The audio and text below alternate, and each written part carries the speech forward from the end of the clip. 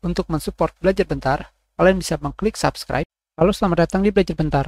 Jika kalian baru membeli laptop dengan kartu grafis NVIDIA atau GPU NVIDIA, dan ketika kalian bermain game, game kalian terasa lambat, jika hal ini terjadi dengan laptop yang baru saja kalian beli, itu karena pada laptop kalian ada fitur NVIDIA Optimus. NVIDIA Optimus adalah fitur yang membuat laptop kalian menggunakan eGPU.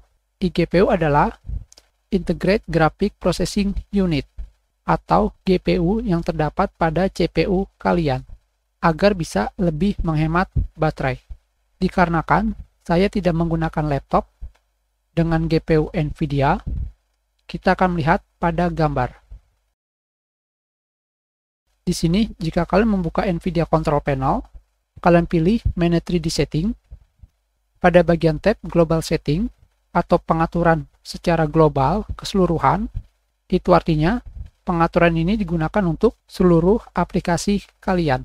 Di sini terdapat tulisan Prefer Graphic Processor, yaitu pilihan untuk memilih prosesor grafis apa yang ingin digunakan.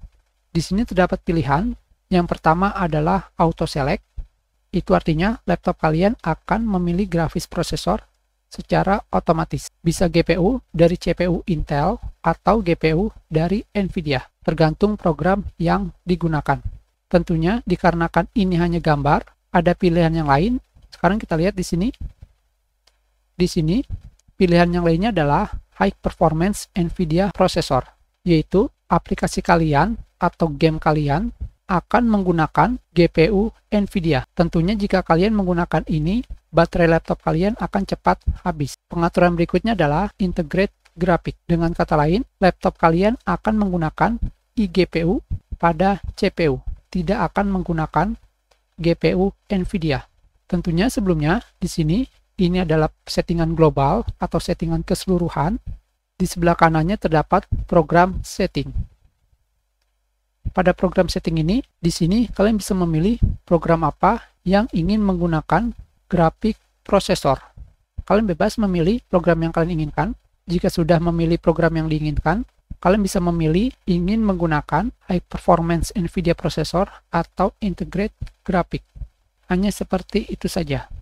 Sekarang kita lihat pada Wikipedia mengenai NVIDIA Optimus.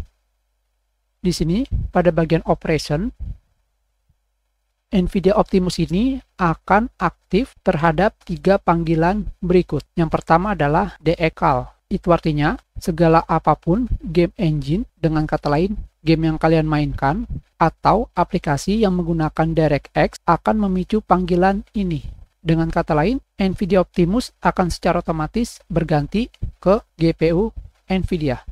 Yang berikutnya adalah DXVA. Di sini secara otomatis laptop kalian akan berganti menjadi GPU NVIDIA jika kalian memutar video yang menggunakan DXVA, yaitu DirectX Video Acceleration. Yang berikutnya adalah CUDA CALS atau panggilan CUDA.